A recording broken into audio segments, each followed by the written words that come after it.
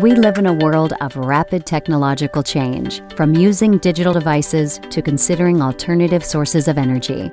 Technology and engineering shape our lives and inform our decisions every day to help prepare students for this new world. More and more classrooms are introducing technology and engineering topics to support learning in subjects such as science, mathematics, and social sciences. But up until now, there's not been a national snapshot of our students' technology and engineering literacy, or TEL. In 2014, the National Assessment of Educational Progress launched an innovative, first of its kind assessment to test 8th grade students' knowledge and skills in TEL and report its findings to educators and policymakers. Based on the framework of this first assessment, the National Center for Education Statistics administered the first TEL assessment to better understand what students know and can do in the context of technology and engineering.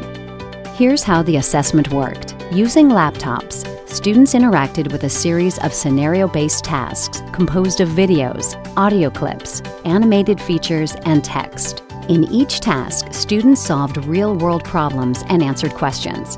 One task involved Iggy, an iguana. Iggy lives in a science classroom. Students had to study information about iguanas and Iggy's terrarium and determine how to make a series of adjustments that will help his well-being. Other TEL tasks included addressing pollution from Chicago's growth, developing a safe and inexpensive bike path, and campaigning for a new teen rec center. So, what did we learn? One, there was a gender gap in overall scores. Girls performed better than boys. Two, students who did activities outside of school focused on design and systems, like a robotics club or building and fixing things on their own, scored higher. Three, in-school learning focused on technology and society was associated with higher scores. 4. Students who believed they could do various technology and engineering-related tasks scored higher on average in TEL than students who did not. Not only was the assessment a big innovation, its findings are key to helping the nation understand